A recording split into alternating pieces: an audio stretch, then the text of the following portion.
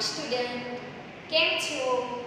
ચાલો, તો આજે આપણે વિષય કલસોની અંદર વાંદરાને વાંચતા ન આવે એ પાઠની આપણે આગળ ચર્ચા કરીશું.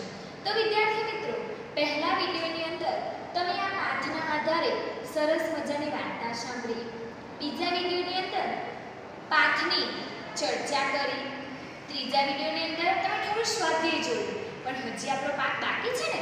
ચાલો તો આજે આપણે આ પાઠ વિશે આગળ જોઈશું. તો હવે પછી તમારા પાઠ્યપુસ્તકની અંદર એક સરસ મજાનું ગીત આપેલું છે. અને એ ગીતનું નામ છે ટીકુબેનને ટીકુબેન તો વાંચવાના શોખીન. આપણે જોયું તો આપણા પાઠમાં જે વાંદરાભાઈ છે ને, એને તો વાંચતા જ નથી આવડતું. પરંતુ આ ગીતમાં જે ટીકુબેન છે ને, એ તો વાંચવાના ખૂબ જ શોખીન છે. તો ચાલો, આ ગીતના આધારે આપણે જોઈએ કે ટીકુબેનને વાંચવાનો કેવો શોખ છે. તો હું ગીત ગાઉં છું, તમારે બધાએ મારી સાથે ગીત ગાવાનું છે. ત્યાર પછી આપણે ગીત વિશે થોડી સમજૂતી મેળવીશું. ચાલો, તો આજે આપણે અભિનય ગીત ગાઈએ. બધા ગાજો મારી સાથે, હો ને? ટીકુબેન તો વાંચનના શોખીન વાંચે નાના અક્ષરવાળી ચોપડીઓ રંગીન. ટીકુબેન તો વાંચનના શોખીન વાંચે નાના અક્ષરવાળી ચોપડીઓ રંગીન. છોટા ભીમને સોટી પોઠી બધું જ વાંચે ખૂબ બધી જ વાર્તા દાડી માફક બોલે આ બેહૂબ. ટીકુબેનનું લેસન કરતો વાર્તામાંનો જીન. ટીકુબેન તો વાંચનના શોખીન ટીકુબેનના ઘરમાં તો છે ચોપડીઓના ઠપ્પા. ટીકુની આજ્ઞાથી સાથે વાંચે મમ્મી પપ્પા. વાંચતા વાંચતા ઊંઘી જઈને પહોંચી જાતા છીન. ટીકુબેન તો વાંચનના શોખીન. એક દિવસ તો અજવાળામાં થયા ટીકુબેન ઘૂમ. આખા ફરીએ શોધે સૌ કોઈ જજી પાડે બૂમ. સાણા ટીકુબેન પલંગ નીચે વાંચનમાં ટલીન. ટીકુબેન તો વાંચનના શોખીન. વાંચે નાના અક્ષરવાળી ચોપડીઓ રંગીન. ચાલો, તો આપણે ગીતની સમજૂતી મેળવીએ. ટીકુ બિન્ટો વાંચનના શોખીન.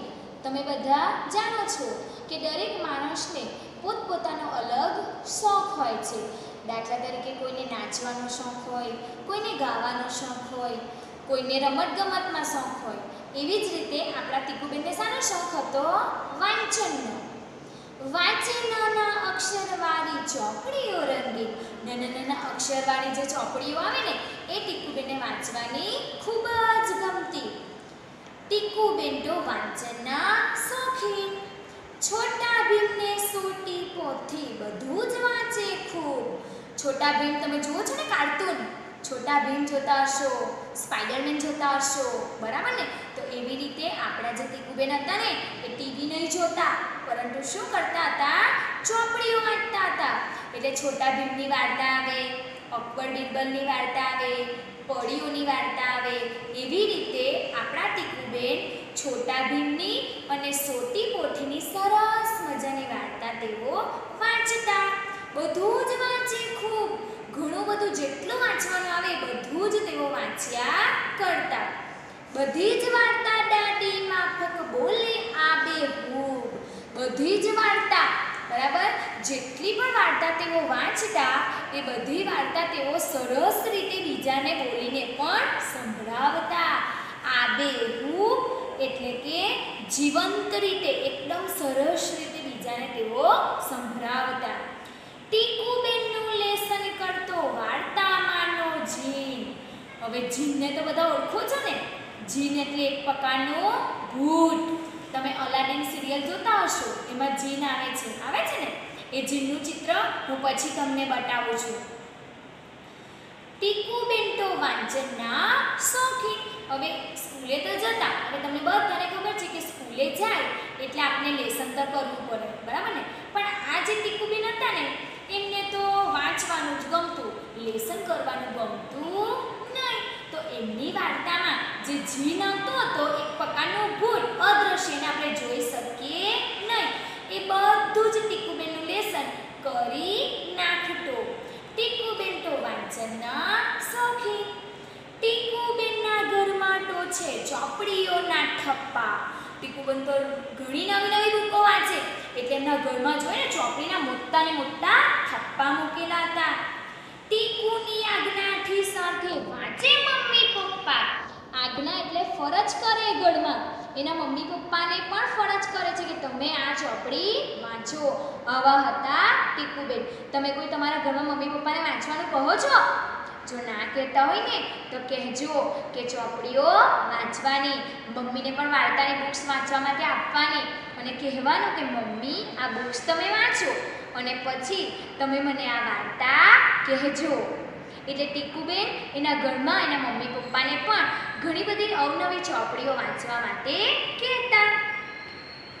વાંચતા વાંચતા વાંચતા ઊંઘી જઈને પહોંચી જાતા છીન. હવે આપણા ટીકુબેન તો શું કરતા ખબર? ચોપડીઓ વાંચતા વાંચતા સૂઈ જતા. બરાબર? સૂઈ જતા, એમને ઊંઘ આવી જતી. અને પછી ઘણા બધા મોટા સ્વપ્નમાં પહોંચી જતા. અને સ્વપ્નમાં પણ એ ક્યાં જતા ખબર છે? ચીનમાં જતા હતા. બરાબર? તમે પણ ચોપડી વાંચતા વાંચતા ચીનમાં નહીં પહોંચી જતા. બરાબર ને? કેમ કે હમણાં તો કોરોના વાયરસ છે. કોઈ પણ જગ્યાએ આપણે આપણો દેશ છોડીને આપણેથી બીજે જવાય નહીં. પરંતુ આપણા તીકુબેન તો ક્યાં પહોંચી જતા? ચીન. પણ આપણે પહોંચવાનું નથી. ટીકુબેન તો વાંચનના શોખીન. એક દિવસ તો અજવારામાં થયા ટીકુબેન ગુમ એક દિવસ અજવારું હતું અજવારું એટલે દિવસ. બરાબર ને? અજવારું હતું એટલે કે બધું આપણને દેખાય. તો આવા અજવારામાં ટીકુબેન તો ગુમ થયા. ગુમ થયા એટલે ગાયબ થઈ ગયા, ખોવાઈ ગયા. આખા ફળીએ શોધે સૌ કોઈ જાજી પાડે બૂમ. આખા ફળિયામાં એના મમ્મી, પપ્પા, ભાઈ એના મિત્રો બધા જ ટીકુબેનને શોધવા માંડ્યા કે ટીકુબેન ક્યાં ગયા ક્યાં ગયા? કોઈ આડસ પડોશમાં શોધી આવ્યું, કોઈ બાજુમાં શોધી આવ્યું, પણ ટીકુબેન કશે જ મળ્યા નહીં. ઝઝી પાડે બૂમ. જોર જોરથી વધારે વધારે બૂમો પાડવા માંડ્યા, પણ ટીકુબેન મળ્યા નહીં. સાણા ટીકુબેન પલંગ નીચે વાંચન ટલ્લીન સાણા ટીકુબેન, એટલે કે આપણા સરસ મજાના જે ટીકુબેન હતા, એ તો વાંચનમાં તલ્લીન હતા અને ક્યાં છુપાયા હતા ખબર છે? પલંગ નીચે બરાબર? આપણે, તમારા બધાના ઘરે પલંગ હશે, બરાબર ને? પલંગની નીચે છુપાઈ જઈએ તો આપણે દેખાઈએ નહીં. તો આ ટીકુબેન પણ એના ઘરમાં પલંગ નીચે છુપાઈ ગયા હતા અને વાંચનમાં તલ્લીન હતા. એટલે કે એમાં જ ધ્યાન હતું એમનું. આજુબાજુ એને બૂમો પાડતા હતા, એને બધા શોધતા હતા, એના તરફ તો એનું ધ્યાન જ નહોતું. ટીકુબેન તો વાંચનના શોખીન એટલે ટીકુબેનને વાંચવાનો ખૂબ જ શોખ હતો. બરાબર? આ ગીતમાં સમજ પડી બધાને? જો વિદ્યાર્થી મિત્રો, આપણે આ ગીતમાં જીન શબ્દ જોયો. જીનનો અર્થ મેં તમને કીધો કે જીન એટલે એક પ્રકારનો ભૂત. તો તમને બધાને એવું લાગતું હશે કે વળી જીન કેવું દેખાતું હશે? તો જુઓ આ ચિત્રમાં તમને. આવું દેખાય છે જીન. જુઓ, જોયું ને બધાએ? હા, આવું આવે જીન. આજે આપણે આપણા પહેલા પાઠનું થોડું સ્વાધ્યાય જોયું. હવે જે થોડું સ્વાધ્યાય બાકી છે ને, એ આપણે આના પછીના પાંચમો વિડીયોમાં જોશું.